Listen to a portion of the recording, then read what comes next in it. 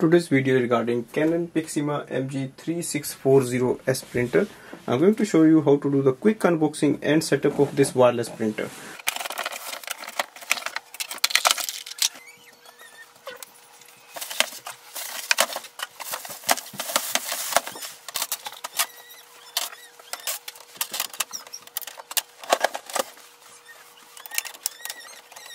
Switch on your printer, so press the power button and we have to install the setup ink cartridges. So these are the two ink cartridges we get with this printer.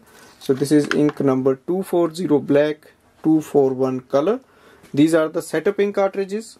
Open them. As you can see there is a place here to open these ink cartridges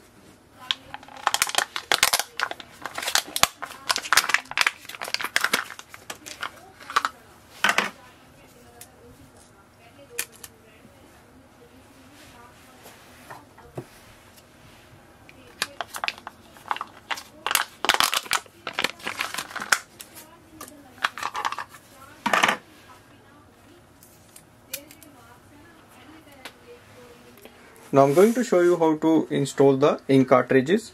For that we need to open the ink cartridge chamber door. Open the front door first. Also this one. And open this door.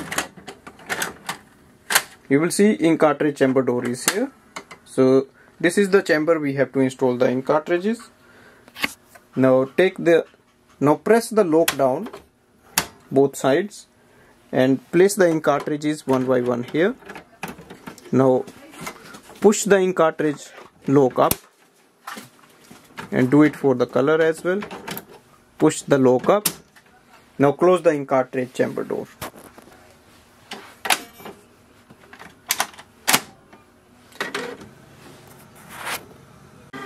Now I'm going to show you how to install the or load the paper tray. So this is at the bottom. So place the pages here now we have finished the initial setup ready to use this printer for copy. So to do a copy open the top scanner lid place a page on that scanner facing downwards on this corner and on the control panel you can select if you want a color or black and it will start the process.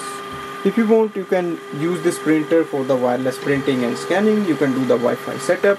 It works with USB Wi-Fi which is your home or office Wi-Fi network.